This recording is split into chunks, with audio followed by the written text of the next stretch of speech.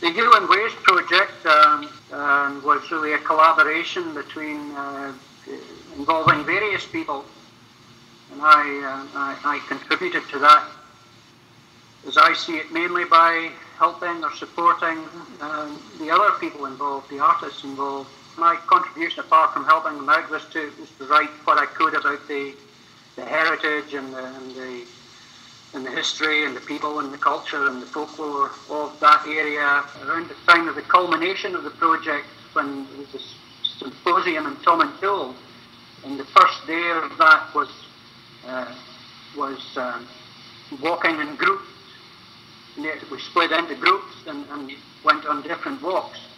And the weather conditions were appalling, absolutely atrocious. Howling gales, driving rain, dreadful. Worst day in the year.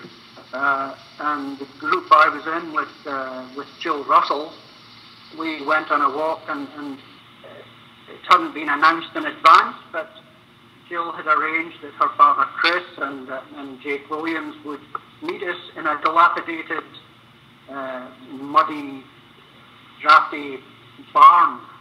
But we were delayed in setting off, and the weather was dreadful. We were slow. We went slightly off track. We ended up way up over the top of a hill, which we didn't mean to, and we were we were running late.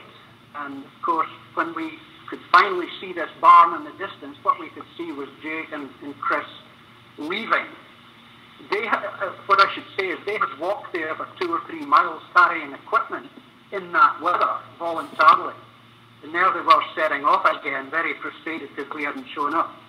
Jill ran ahead, caught them, they turned back, they set up again. When the rest of the group arrived, the group uh, members didn't know what to expect. We walked into this barn.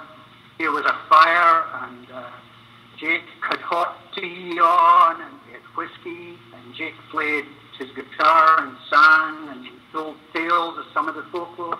And it was just a fantastic memory in this dreadful day, and everyone really enjoyed it. And in some ways, that typifies the kind of unexpectedness and the, and the hospitality and the uh, and the characters um, that, that that came out of this uh, Hielan' Ways area and are still to be found